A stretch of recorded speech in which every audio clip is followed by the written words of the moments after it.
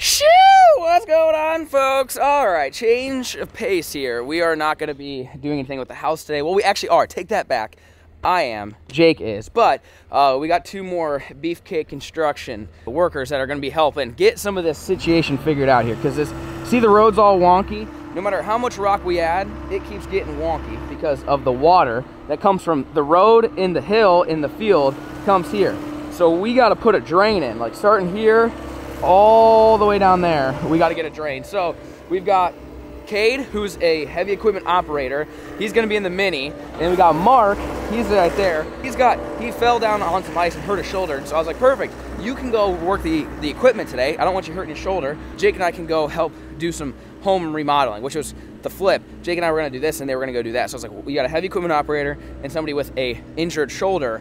What better opportunity than to put them in some equipment? They can sit in the nice heated cabs because it is cold out here today. And then we're gonna be working in the house. So we will be jumping in and out of this video and helping them shoot grade and level it and, and whatever. But like I said, there's a good chunk of it's not gonna include me, but they're gonna get the job done. So they're getting the mini going, they're getting the skid going. We have to basically dig a trench all the way down this road, all the way to here.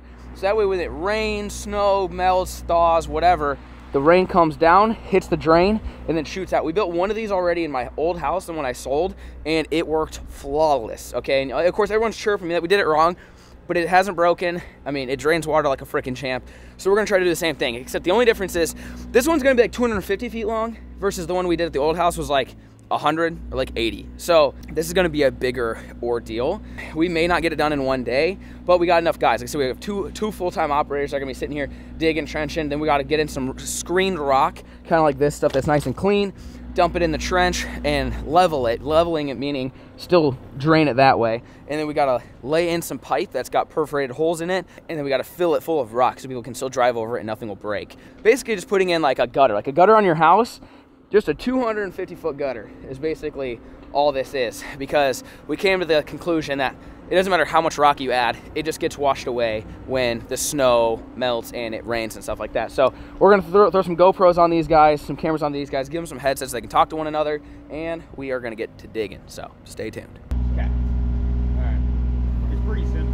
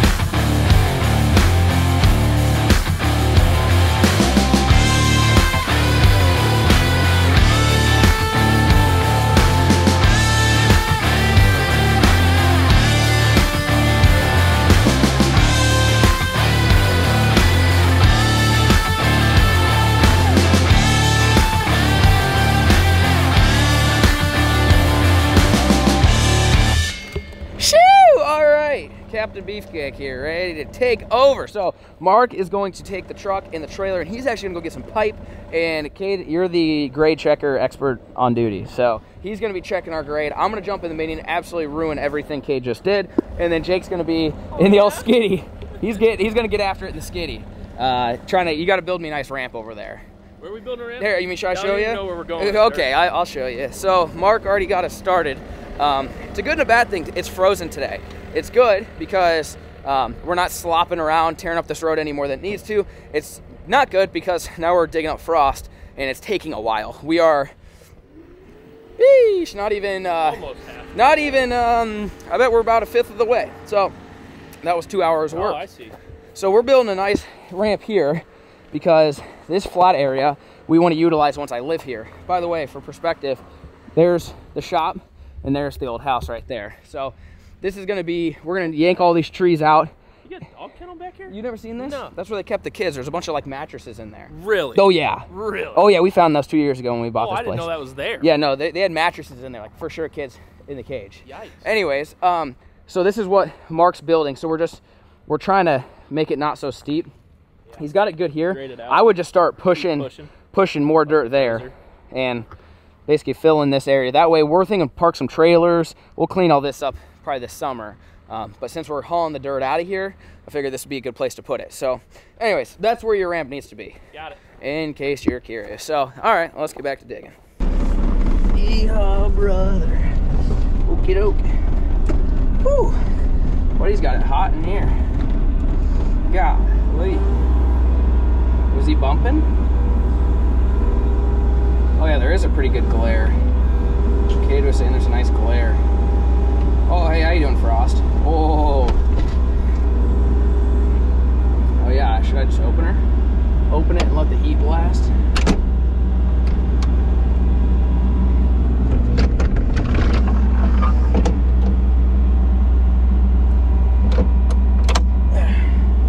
Ah, I can see now. Oh, he's gonna be like, what in the heck? I didn't know I could do that.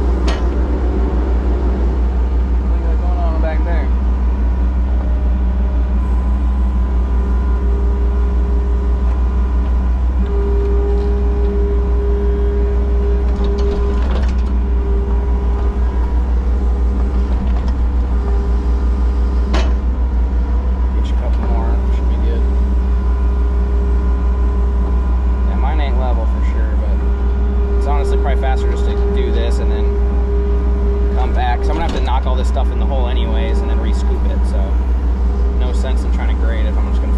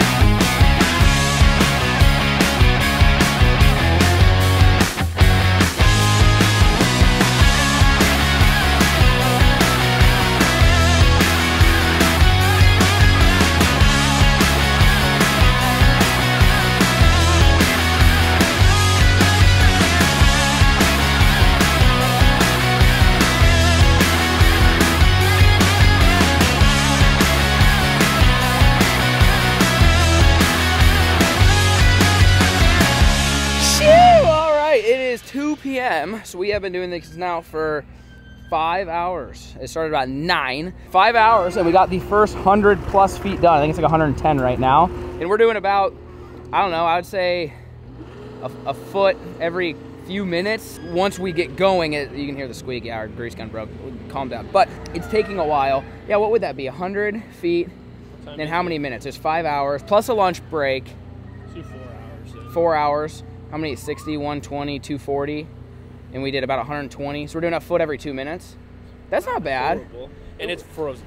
I said that the problem was this morning this thing was completely frozen. And so we had to be chipping away at all that. So, anyways, there it is. You can see the trench goes down. And what was the taper? Was it an inch every 15 feet?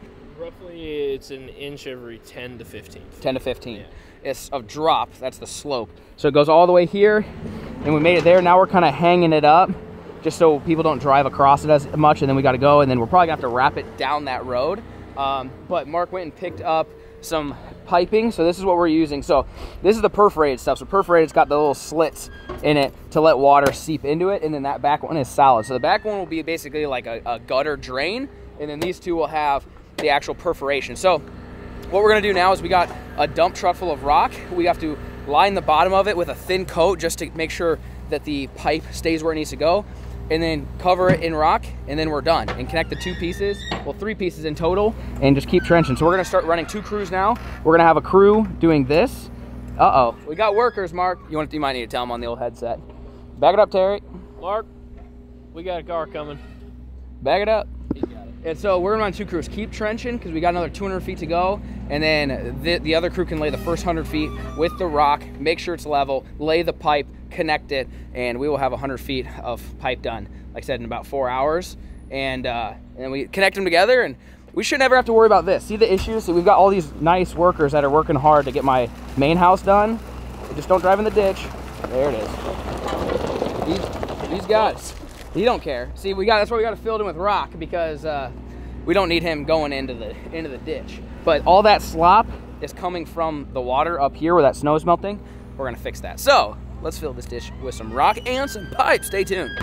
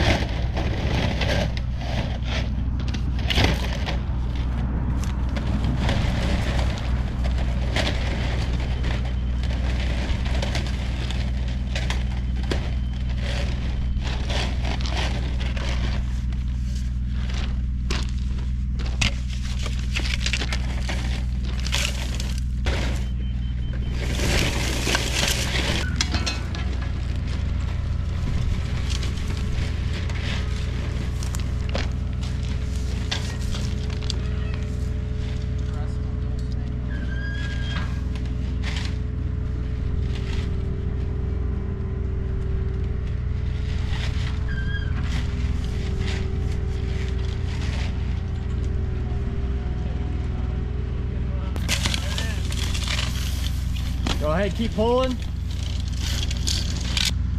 That's good.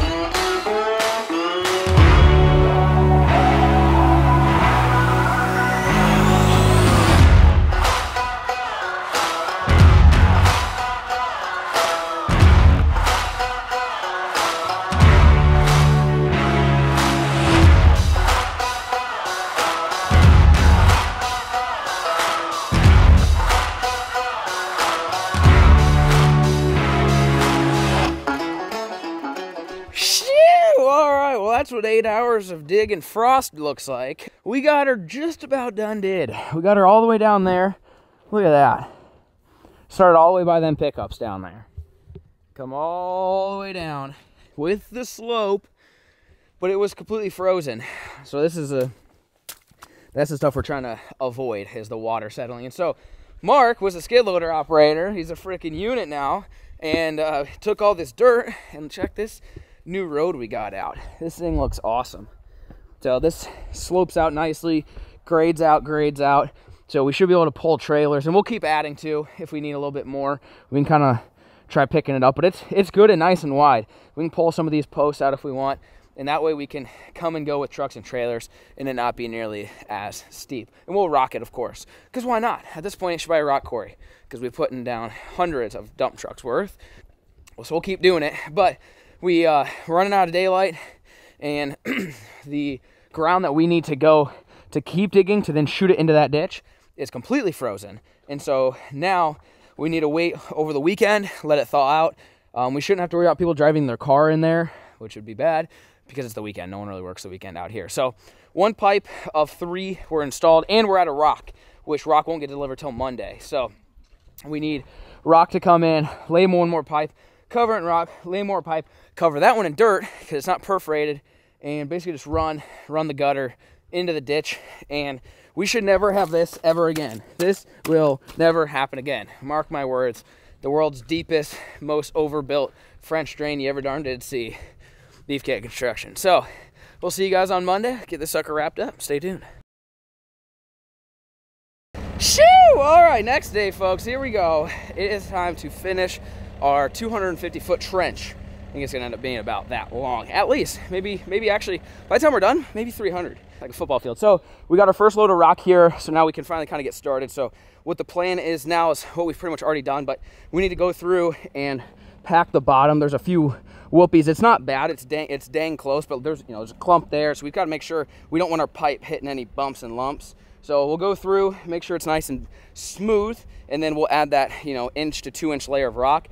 Ideally, we should probably be adding more, and we always could, but I want to make sure that this thing is buried as deep as possible, so that way if anyone drives over it, it doesn't get crushed. Um, but the having it raised up the bottom will let kind of that sediment the dirt and stuff kind of go down and not clog through the pipe.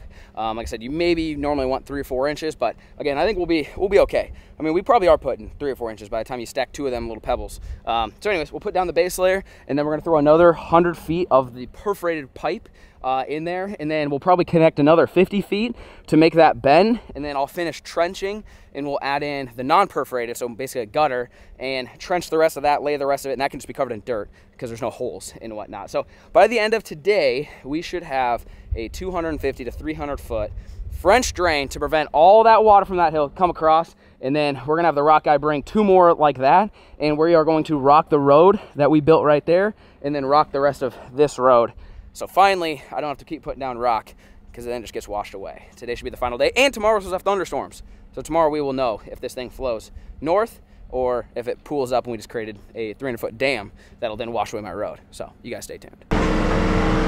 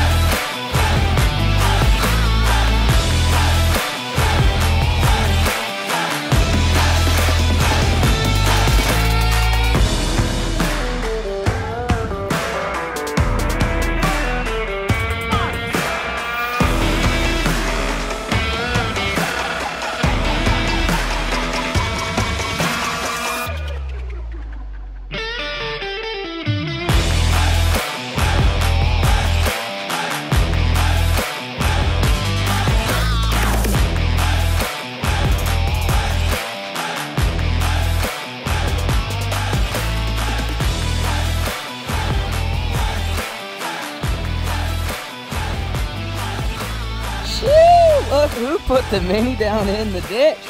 Debbie, a boy. I love getting stuff stuck. So uh, yeah, she's not. She ain't going nowhere. She's uh, she's stuck there real nice. Like, um, I was looking at this dry dirt though.